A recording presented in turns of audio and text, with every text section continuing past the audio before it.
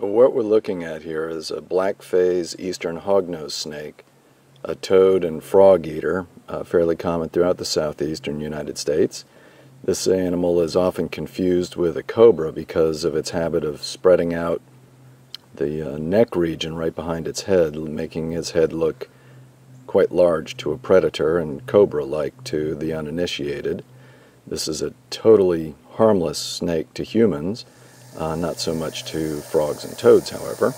And uh, this one here is displaying a couple of things. One, the neck cobra uh, behavior, and then also the hissing that it's doing. You can see it inhaling its lungs and exhaling through uh, the glottis and nasal system, creating a nice loud hissing sound that would be frightening to most predators.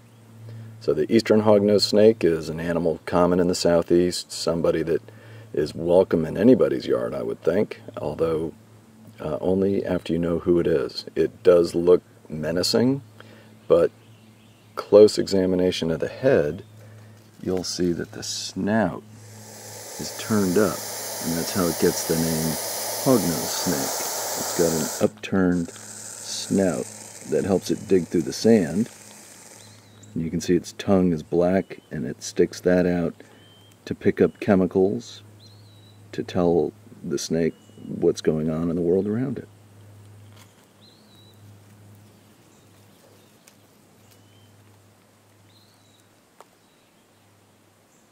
The eastern hognose snake.